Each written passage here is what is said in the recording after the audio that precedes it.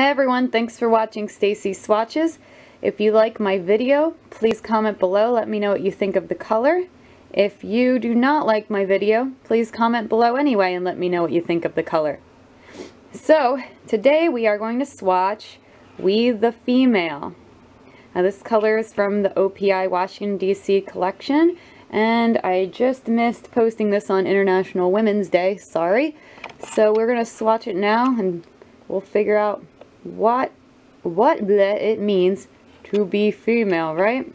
So I'm guessing this color is called We the Female because it maybe represents a classic female color a representation. It's kind of a purpley red, not quite burgundy, but there's something about it that just says classic woman.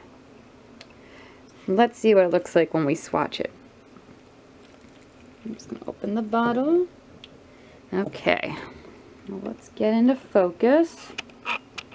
And here we go with We the Female. Okay.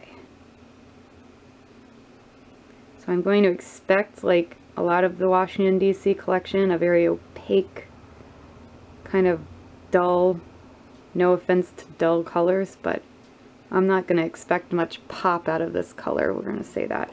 So here we have layer one. Now it's looking very much red at this point.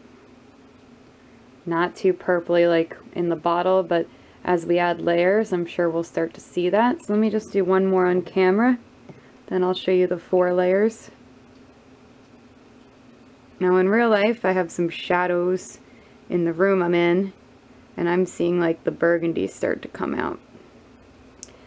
And I think that you could, too, let's see. There you can see it's definitely looking more bourbon, burgundy, burgundy. Looks like a dark wine. Beautiful. So let's compare it now. Here's the one we just swatched. And here is four layers dry. Just focus the camera. There we go. Oh yeah, you'll see the the burgundy tone is much higher in the right. I would say it looks like a fine Cabernet. oh yeah, this is definitely classic. I like this color a lot. So please comment below, let me know what you think of We the Female. And please subscribe if you like my videos and you want to get notified of new ones because I'm going to be adding swatches a lot in the future. Thank you.